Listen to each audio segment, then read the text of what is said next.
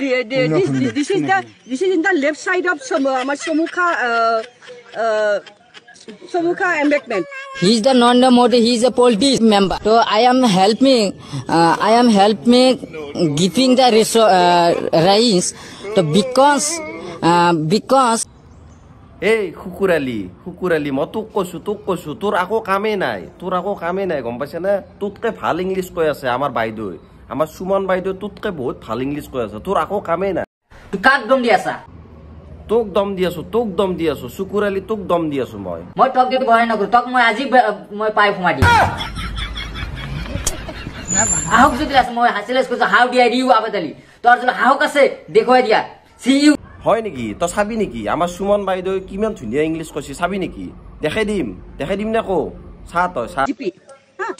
The, the, this, this is the this is in the left side of uh, Somukha uh, uh, अबे जल्दी बोल कल सुबह पनवेल निकलना है। There is हाँ हाँ 18 18 जगह में 18 जगह में बीच हाँ जी हाँ जी हाँ। तो अ, तो पीपल हियर सब जुट गया है जितना लोग है सब जुट गया है। सभी लोगों ने मिलके किया है। लेकिन पॉइंट इज़ दिस कि इतना सारा पानी आ गया सारी तरफ से तो यहाँ पे अम, जो फोडर है अ, हमें हमें इमीडिएट चाहिए अभी এতিয়া কি- মানে মানে এনেকুৱা আজিয়ে পঠাব লাগিব নহ'লে অৱস্থা বহুত বেয়া